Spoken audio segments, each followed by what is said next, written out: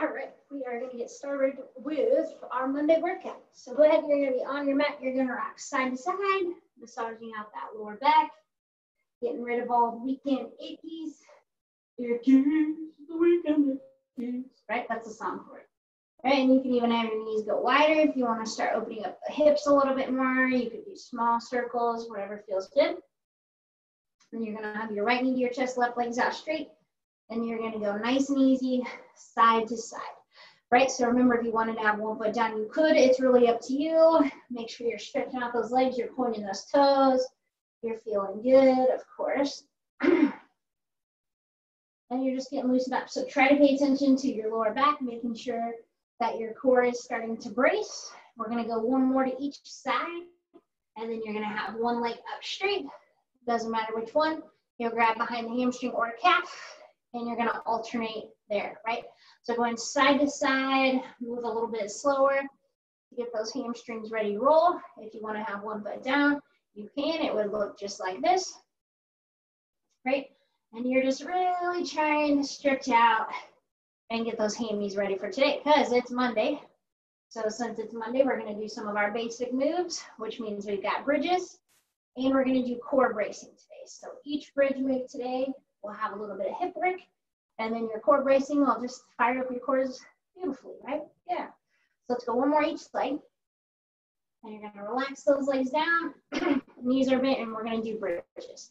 So you're gonna inhale in, exhale, we'll press up, squeeze those glutes. Nice and easy coming back, right?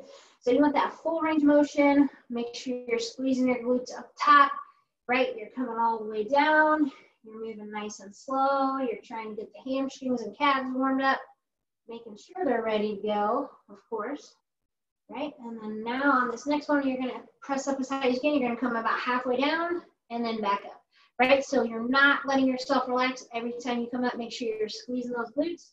Right? You're making sure you're keeping everything activated. Right? So this doesn't give you any kind of rest time. Right? And we're just pressing up and back. So on your next one here, you're gonna press up. We're just gonna do about a 10 second hold here. So as you're holding, exaggerate squeezing those glutes, make sure you're breathing. You got five seconds here.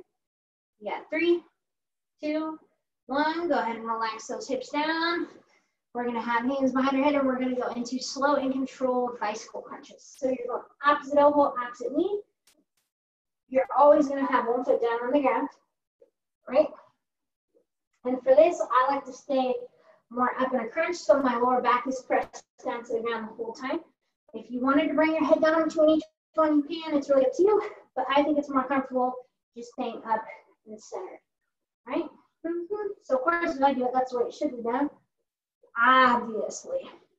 Right, so just nice and easy, side to side. We're gonna go about 15 more seconds, and then we're gonna go back to some bridges, okay? So nice and easy here. We got 10 seconds.